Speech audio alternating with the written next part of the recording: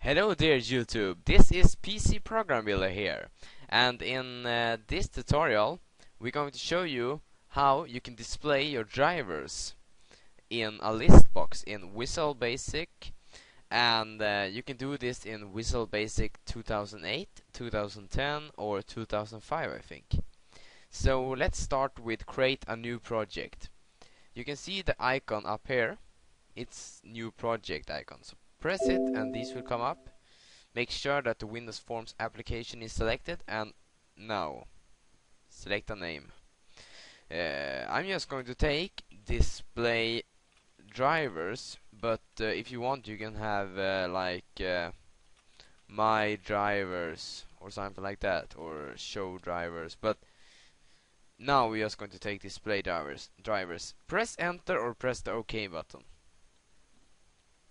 here's the form. So uh, the first thing thing we can do is to add a list box. Go up to the toolbox on the left side and uh, search after list list box. Drag and drop to the form and uh, resize it a little bit. Uh, now double click on the form. Not the list box uh, double click on the form. Uh, we can click here double click and uh, these will come up. Form load. Uh, this means that this is the first thing the form will do when it starts up. So uh, let's start writing some codes. Uh, list box 1 dot items dot add range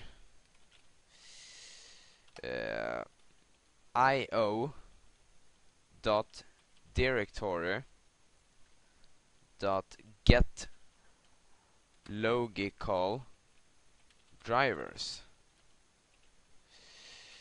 Uh, and then just press enter. Wait.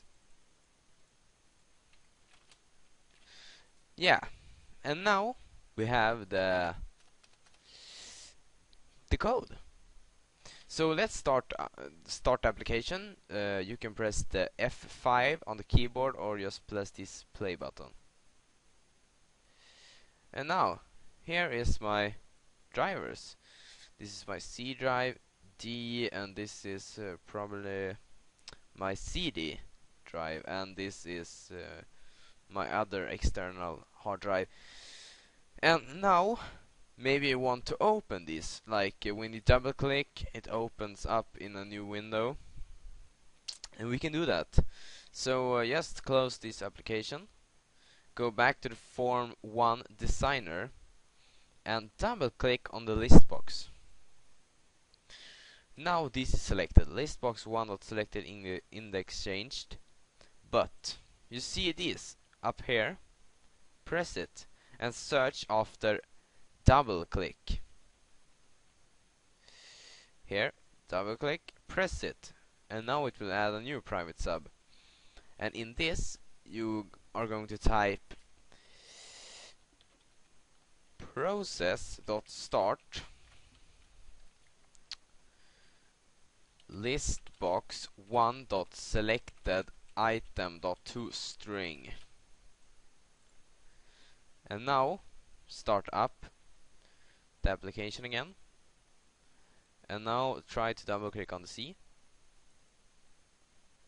And the C will come up. Double click on D. D will come up. Double click on E. Oi oi now my C drive went out. So uh, and uh, double click on uh, G. So that's that's cool that's all the codes how you can do uh, this. It's uh, it's very easy. Very easy codes. But uh, I will um, put the codes in the description uh, so you can uh, download it. You can download the whole project. Yeah that was all. So thank you for watching this video and uh, please subscribe to my channel yeah, rate and comment on the video too. If you like it or not I'm glad to have some feedback. And if you want uh, to uh, give me some tips if you want me to make some uh, yeah if you want me to make a tutorial to you how you can create uh, yeah some stuff. So uh, just uh, PM send a PM to me and we can talk about it and maybe I will create a tutorial. So uh, yeah thanks for watching. Bye bye